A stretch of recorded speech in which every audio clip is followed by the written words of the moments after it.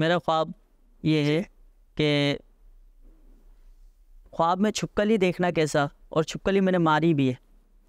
अच्छा मारी भी है और ख्वाब में छिपकली का देखना हजूर कैसा है?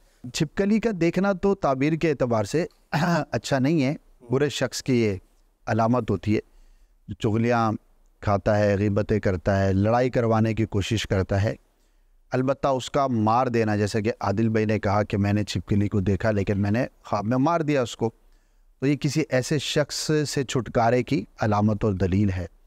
फिर भी ये अपने अतराफ़ में, अपने माहौल में, अपने दोस्तों में, उठने बैठने वालों में गौर करते रहें कि कोई ऐसा शख्स तो नहीं है कि जो चुगलखोर हो या गिबतें करता हो, मुसलमानों की बुराइयाँ करता हो। अगर ऐसा शख्स हो तो उससे अपने आप को दूर रखें।